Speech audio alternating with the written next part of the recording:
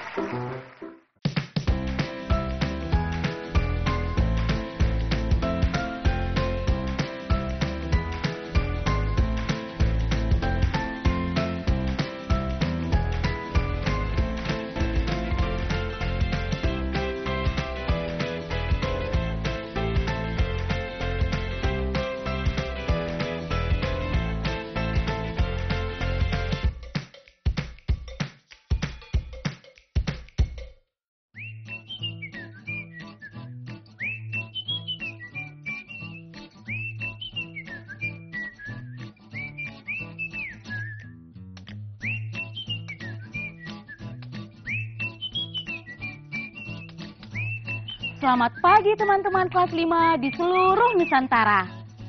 Bagaimana kabar kalian hari ini? Semoga kalian sehat-sehat selalu ya.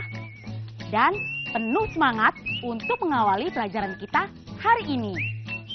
Hari ini Kak Lisa akan ditemani bersama Kak Tara dan Kak Aldi.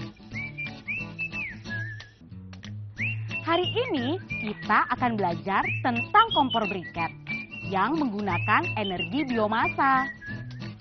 Ada yang pernah dengar dan lihat nggak bagaimana bentuk kompor briket? Nah, seperti ini nih bentuk kompor briket. Teman-teman tentunya masih ingat, kita pernah membahas tentang energi biomasa. Nah, nanti Kalisa akan menjelaskan lebih lanjut ya. Selain itu, kita juga akan berlatih membuat pola jaring-jaring kubus agar kalian makin mahir untuk membuatnya. Nah, Kalisa udah gak sabar nih untuk mulai pelajaran hari ini. Tapi sebelum itu, kita berdoa dulu ya. Kak Tara, Kak Aldi, kalian ikut berdoa ya. Berdoa dimulai.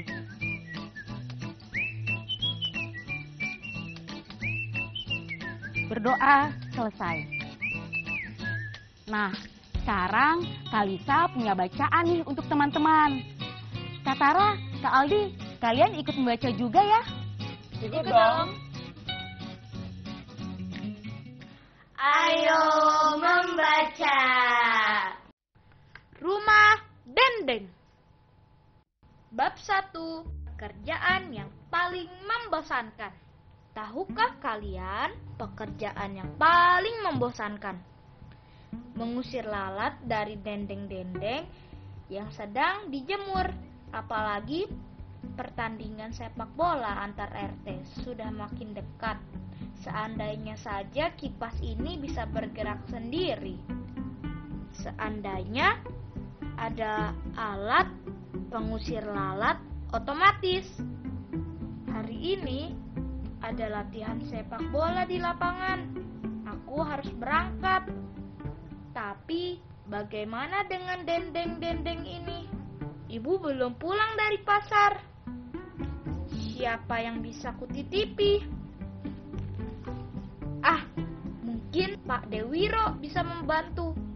Namun, kalau dia sedang sibuk, dia tidak suka diganggu. Ah, Aku coba saja. Pak D, boleh minta tolong? Apa, Danu? Aduh, suara Pak Dewiro galak sekali. Eh, tidak apa-apa kok. Sautku cepat. Kata ibu, dendeng-dendeng ini harus kering dan aman dari lalat. Agar aku bisa ke lapangan, dendeng ini kututup tudung saji saja. Yah, tapi kekecilan. Berarti aku perlu penutup yang lebih besar. Itu Hani dan bagus. Mereka mengajak latihan. Mereka harus membantuku menutupi dendeng-dendeng ini dulu dengan spray.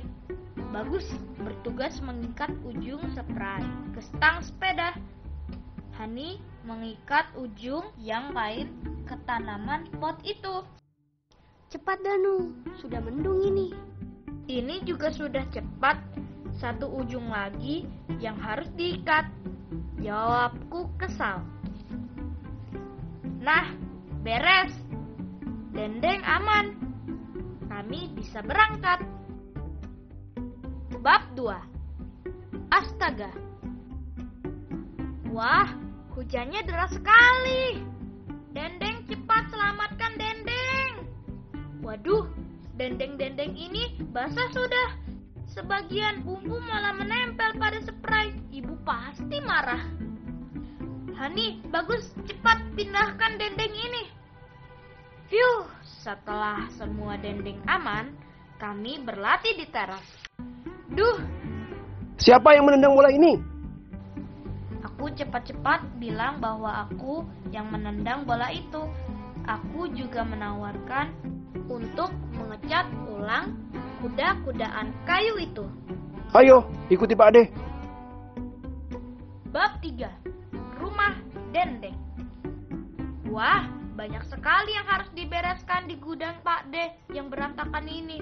Setidaknya aku dibantu Bagus dan Hani. Hei, ada ini. Namanya herbarium atau pengering tanaman. Alat ini mengeringkan tanaman atau bagian tanaman. Wah, menarik. Bagaimana jika isi di dalamnya bukan daun, melainkan dendeng? Dendengnya akan aman dari lalat dan hujan. Ketika aku sampaikan ide itu kepada Pak Dewiro, ia setuju. Pak D malah punya ide yang lebih keren, yaitu membuat alat pengering sederhana. Kusulkan untuk memakai kotak kayu ibu yang tidak terpakai lagi. Kata Pak D, alat pengering ini bisa membuat enam nampan pas sekali dengan jumlah nampan yang dimiliki ibu. Ketika aku ke rumah untuk mengambil nampan itu, aku juga membawa kotak kayu ibu. Pak D berkata bahwa kita membutuhkan lampu dan kipas angin. Katanya, agar alat pengering ini bisa digunakan saat musim hujan. Untung ada kipas angin kecil bekas di gudang untuk lampu. Bisa dipakai lampu belajarku dulu. Pak Dewiro dan aku memang jenius. Lampu itu dapat memanaskan dan mengeringkan dendeng. Kipas angin akan mengeringkan dendeng secara merata. Aku menyebut alat pengering ini rumah dendeng. Ibu pasti senang. Benar kan ibu suka? Ia bisa mengeringkan banyak dendeng sekaligus. Sekarang aku sudah boleh main bola di lapangan kan? Tanyaku. Belum. Masukkan dendeng ibu ke rumah dendeng ini dulu, Danu. Setelah itu boleh. Belum. Cuci spray dulu, lalu bantu ibu buat bumbu dendeng dulu. Oke. Oke, setelah selesai membuat bumbu dendeng, boleh. Boleh, tapi antarkan dendeng ke Pak Dewiro dulu. Untuk Hani dan Bagus juga kan? Ibu mengganggu. Nah, ini baru tidak membosankan. Rumah Dendeng ditulis oleh Ania Wijaya, diilustrasi oleh Hilman Makluh, dan diterbitkan oleh Kemendikbud untuk Rom Turet. Kreatif juga ya Danu dan teman-temannya tadi. Mereka menggunakan nampan untuk menyimpan dendeng ibu dan menggunakan kipas angin untuk mengeringkannya. Dan mereka memberikan nama pengering itu rumah dendeng. Ada-ada aja ya. oh iya, ini ayamnya. Tinggal bumbuin aja ya. Boleh? Oh ya Kalisa, ini makaroni skutelnya mau dipotong berapa ya? Hmm, potong berapa ya kira-kira?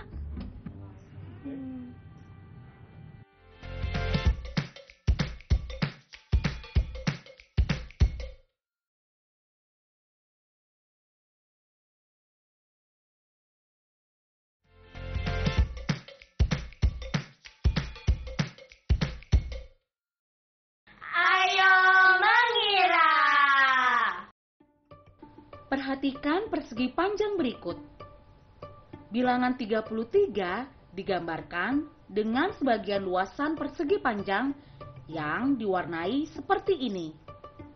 Sekarang, seberapa luaskah bagian persegi panjang yang harus kamu warnai untuk menggambarkan bilangan berikut?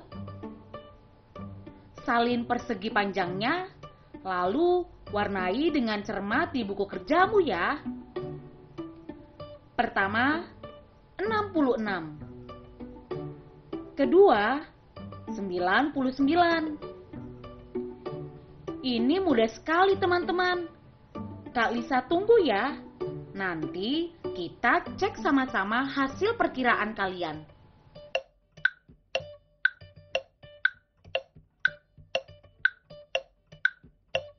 Sudah. Ini dia hasil perkiraan Kak Lisa. Apakah sama dengan kalian?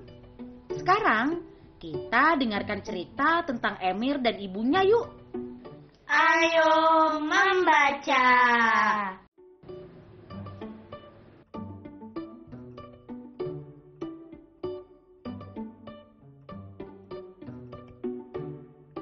Ibu, ibu mau beli kompor baru. Padahal kompor kita kan masih bagus. Ibu nyesel kemarin beli kompor listrik. Kenapa emangnya? Habis boros banget. Kemarin ibu mahal tuh bayar listriknya. Emangnya kompor gas itu lebih hemat ya daripada kompor listrik? Lebih murah juga. Kalau mau yang murah, kenapa nggak beli aja kompor minyak? Zaman sekarang mana ada yang pakai kompor minyak? Tapi ibu inget sih, dulu nenek buyutnya ibu itu pernah pakai kompor briket. Kompor briket? Hmm, kayak gimana itu? Nih, kita browsing ya, kita googling nih, kompor briket tuh kayak gimana.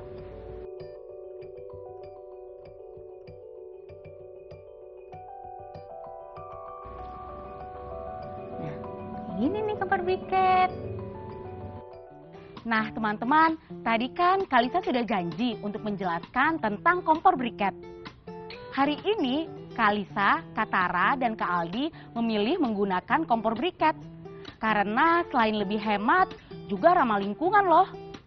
Kompor briket adalah salah satu alternatif pengganti kompor gas LPG yang harganya lebih terjangkau teman-teman. Teman-teman pasti penasaran kan gimana bentuk briket? Nah, seperti ini nih teman-teman bentuk briket. Kamu mau bantu jelasin? Boleh. Briket terbuat dari bahan-bahan yang mudah panas dan dapat mempertahankan nyala api dalam jangka waktu yang cukup lama. Briket ini terbuat dari bahan-bahan yang bersifat ramah lingkungan, yaitu biomasa. Kamu tahu nggak biomasa itu apa? Biomasa itu energi atau sumber panas yang berasal dari limbah tumbuhan dan juga hewan, seperti arang tempurung kelapa, limbah pertanian, dan kotoran ternak. Coba teman-teman perhatikan bentuk briket ini. Berbentuk apakah briket ini? Menariknya, briket dibuat berbentuk kubus.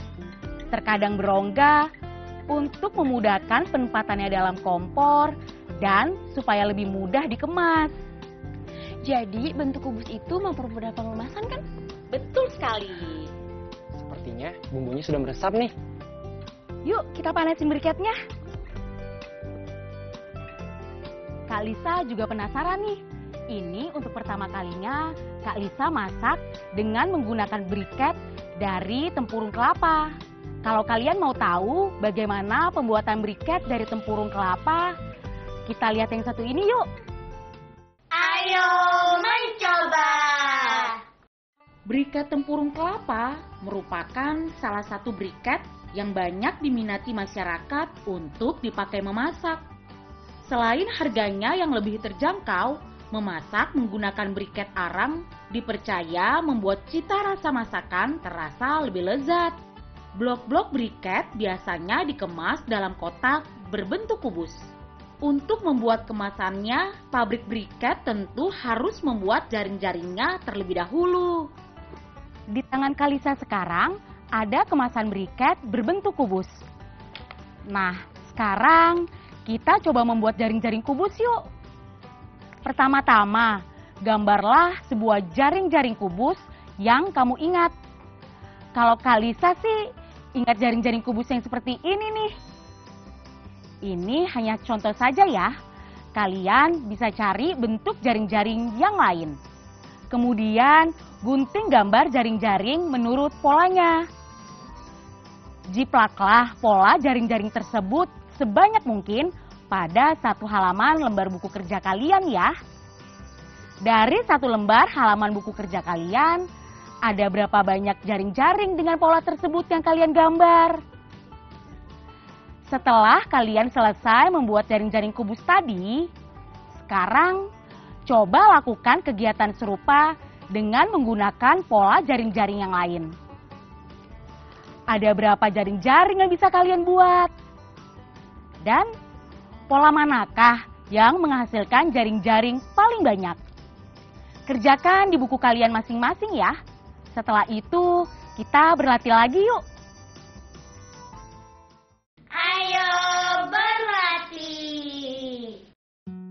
Jaring-jaring berikut ini ternyata tidak bisa dirangkai menjadi kubus karena salah satu sisinya salah tempat.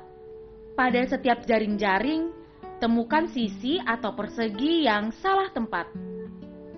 Selanjutnya, gambarkan pola yang benar di buku kerjamu. Contohnya, seperti gambar berikut ini. Di sebelah kiri adalah contoh pola yang salah dan beri tanda silang bagian mana sisi yang salah tempat. Lalu, gambarkan pola yang benar di sebelah kanan. Berikut gambar jaring-jaringnya. Jaring-jaring pertama, salin, amati, dan tandai mana bagian yang salah.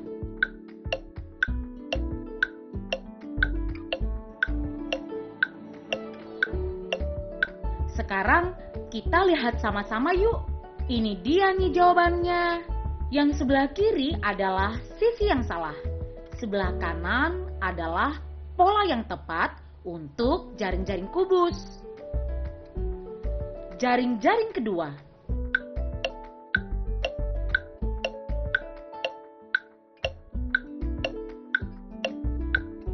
Nah, ini jawaban Kak Lisa. Kita cek ya. Sekarang pola yang ketiga.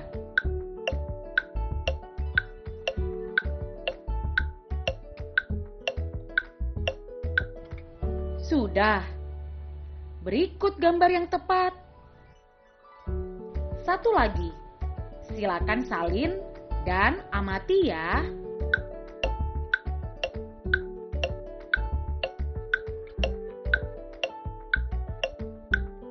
Nah, teman-teman, ini dia jawaban yang tepat. Masih banyak lagi pola jaring-jaring kubus yang bisa kita buat. Jangan lupa untuk berlatih terus ya. Nah, ternyata sangat banyak ya energi alternatif yang ada di sekitar kita. Ada energi matahari, angin, Dan energi biomasa. Nah, teman-teman di rumah, coba perhatikan kincir angin yang telah kalian buat. Bagaimana cara energi matahari menggerakkan kincir? Adakah cara lain yang digunakan untuk menggerakkan kincir? Coba cari tahu dan praktekkan di rumah ya. Setelah itu, kita buat laporannya sama-sama ya. Yang perlu dimasukkan ke dalam laporan adalah hal-hal berikut ini. Pertama, ceritakan proses pembuatan menara kincir angin tenaga matahari. Kedua, ceritakan pembagian kerja kalian dengan anggota keluarga yang membantu. Ketiga, tulislah hasil pengamatan kalian atas semua hal yang sudah kalian lakukan selama mengerjakan proyek kincir angin ini. Keempat, tuliskan cara-cara lain yang kamu lakukan untuk menggerakkan kincir angin serta hasilnya. Terakhir, Tuliskan pendapat kalian tentang energi matahari serta energi lain yang kalian coba gunakan untuk menggerakkan kincir angin. Tulis laporannya di buku kalian masing-masing ya. Sekarang Kak Lisa lanjut makan dulu ya. Nanti kita ketemu lagi untuk berefleksi. Refleksi.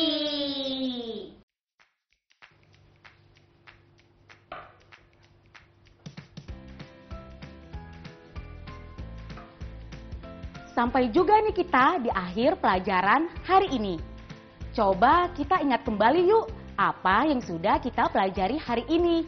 Hari ini kita sudah membaca kisah Rumah Dendeng. Kita juga telah mengenal apa itu kompor briket dan briket biomasa sebagai salah satu energi alternatif yang ramah lingkungan dan hemat. Kita juga belajar tentang pola jaring-jaring kubus. Bagaimana nih perasaan kalian setelah belajar hari ini? Apakah kalian senang? Biasa saja? Atau sedih karena masih bingung?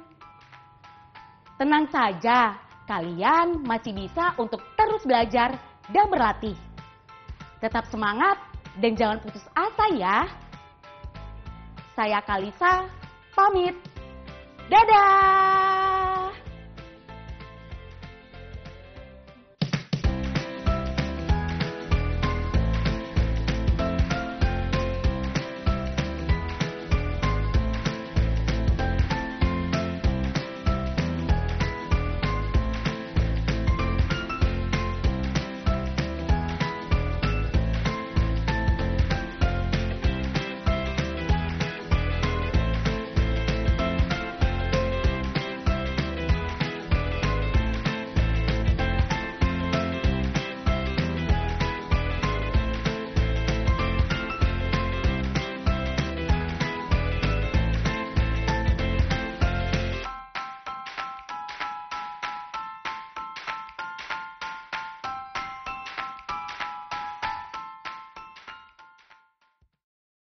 Sekarang tetap belajar dari rumah ya teman-teman.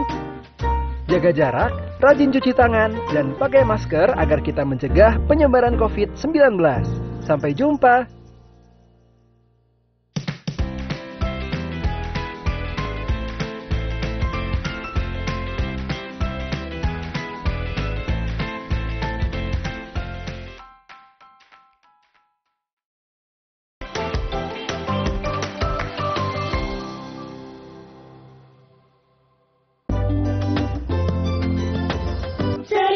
Cuci tangan Gunakan sabun Pakai masker Menutup hidung mulut Jangan lupa jaga jarak Saat ketemu orang Makan yang bergizi Jaga kesehatan Anak Indonesia anak Jangan kendor, jaga kesehatan.